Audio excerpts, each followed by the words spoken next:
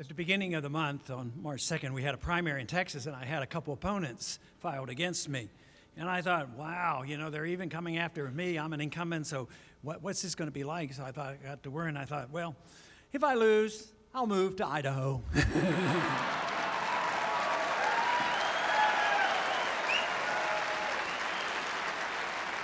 but, but I was able to sneak out a close victory with 81%.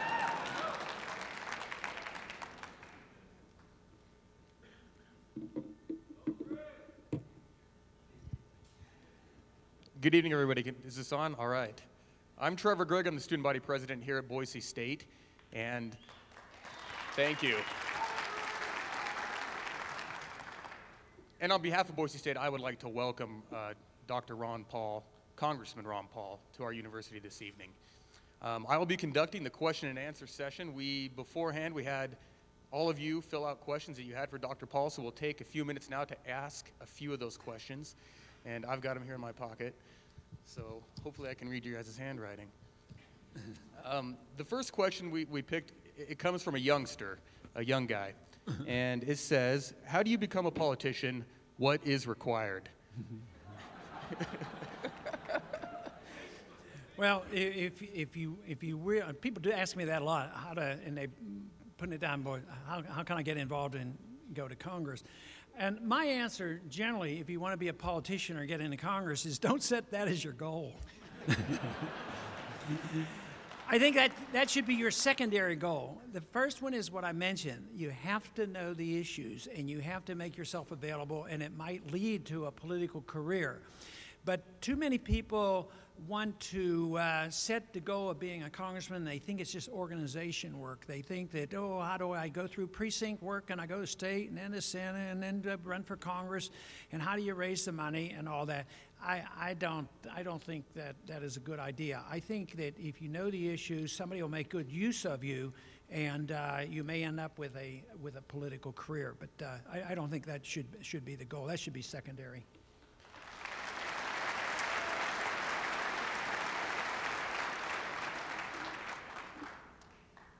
That leads us into the next question very well. Why stay Republican? Both parties have failed the people. Why have both parties failed? It really wasn't a question. I guess the person was more of a statement. Both parties have failed the people. yeah, I would, I would agree with that, and I've, I sort of answered that in, in the talk, and that is uh, it's been too bipartisan because they both endorse the same ideas. That's why I emphasize study, understand the issues, and, and the difference. Uh, basically, uh, we have been conditioned over many, many years that an interventionist uh, foreign policy, a uh, monetary policy of fiat currency, uh, a welfare state based on a distorted view of rights has been endorsed by both sides because our intellectual community did. The intellectual community is very important, but I think that is what change, is changing, and then uh, uh, maybe the.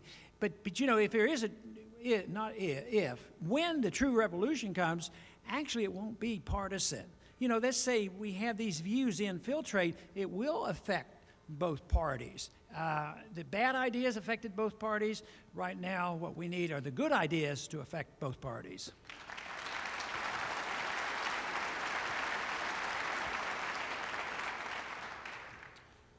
Again, a question for the youth here.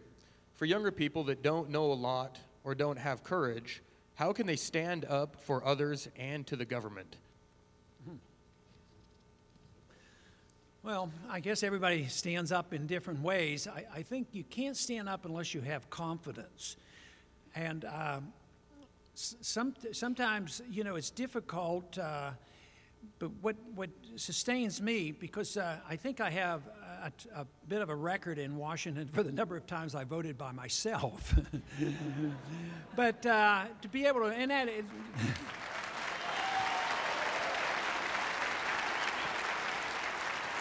But I, I get my I get my strength from that by conviction that others have been, you know, by trying to weigh the other, other people's views and coming up and making a decision what I think is right or wrong and the interpretation of the Constitution. So a lot of people point out my shortcomings in my delivery and different things, and, and there are some shortcomings. But one thing I, I am convinced of are the views are correct, and that gives me my strength.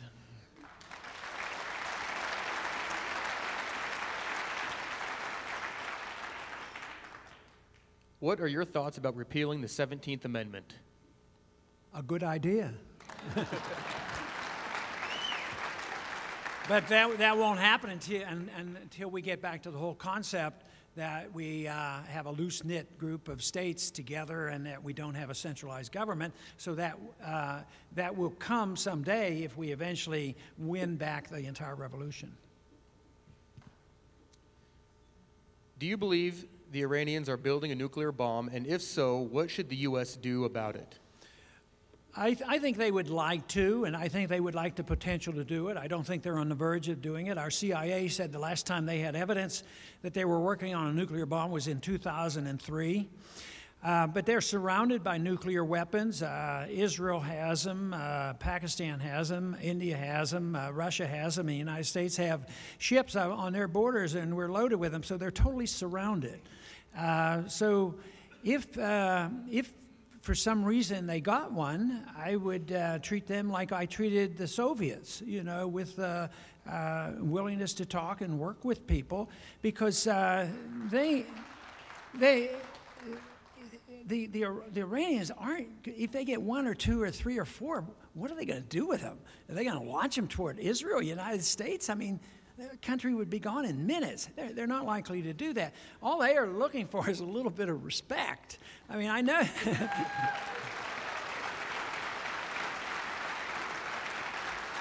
so I, I, think the war drums are beaten and they, they want to get the people riled up so that you're ready to put on, uh, they're ready to put on tough sanctions. Who suffers with the tough sanctions? You know, we've had sanctions on Cuba for 40 years, and I think it's time to get rid of sanctions and trade with Cuba and travel to Cuba. And tough sanctions on tough sanctions on Iran won't help. It'll just make the problems that much worse and punish the people over there and not do much harm to the government. How do you respond to the critics who say there's not enough gold to support the current money supply for a 100% gold backed currency? Well, if, if you understand it, any amount of gold will work. Uh, prices just have to adjust. And uh, for two or three thousand years that they've been measuring gold production. Gold, gold generally in, increases about three percent a year, two times, two to four, three percent a year, which would be, which would sustain it. But as long as your prices adjust, it, it, it doesn't matter. If you nearly, eh, you're not going to carry the gold around. I mean, you just have to have a measurement. It's sort of like asking, how many yardsticks do you need? You know, it's a measurement of value. You can define credit.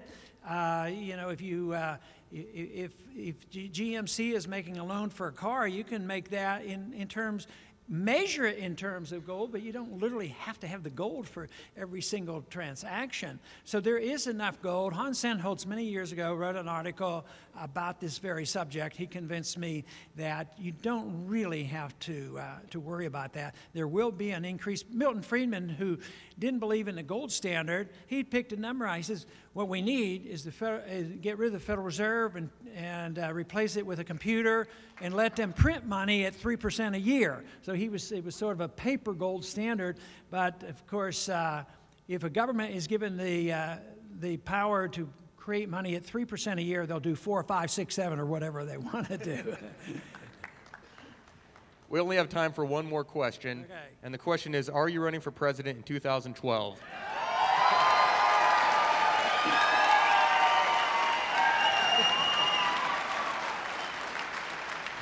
No, no, decision has been made on that yet. But thank you. Thank you for your support. Thank you.